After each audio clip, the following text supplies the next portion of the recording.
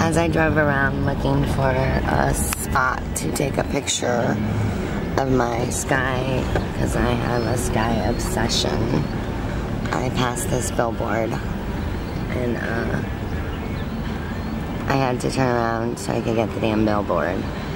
But when I went to turn around, even more ironic was I turned around at Secrets, where you could go in and get a cold one and have some chick dance for you, of course. Because, you know, we're such a beautiful society that it's all about that, of course. That. But I'm not sure I can get this to the billboard from here. Mm. It said, I'm grateful for my abortion. I will get it. I just don't think I'll get it right now because I don't even know where the hell I am. Probably going into the back of some FEMA camp or something funky. Who the hell knows? But, um, I mean, seems to be a lot of cars here though, so, you know. Mm. Mm. Mm. I just don't know. But, alright, I'm not one to judge about abortions. Obviously, I personally do not believe in having an abortion, as uh, I have five children, and um, my first one was when I was 16, my second one was when I was 18, and then you skip 10, 11 years and add one, skip another four years, add another one, another two years, add another one.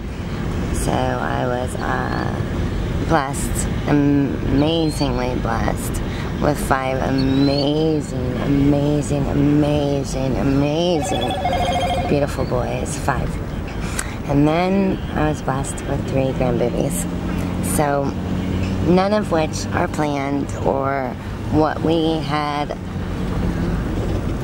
wanted at that moment to happen. For children are hard and they cost a lot of money and they're difficult and they're wonderful and amazing and great, but they're hard. So it's not like, you know, everything's planned. There's your sign, but I'll get a better picture tomorrow. Not like everything's planned, and it's not. Nothing in my life has been planned well, that's for sure. And shit, if it is planned, I tend to fuck it up, for real. But some things I wouldn't change for the life of me. And those things are Austin, Matthew, Grayson, Parker, and Ezekiel. Not a second would I change. Not one. Not one. Not for anything.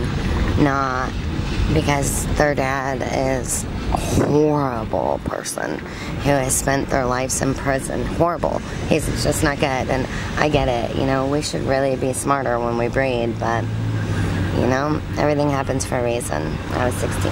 Happened for a reason. I have the most beautiful Austin in the entire universe followed by the most beautiful Matthew in the entire universe. And it is what it is. But to post signs that I'm grateful for my abortion is pretty damn ignorant of us as a society. It really is. So, here you go.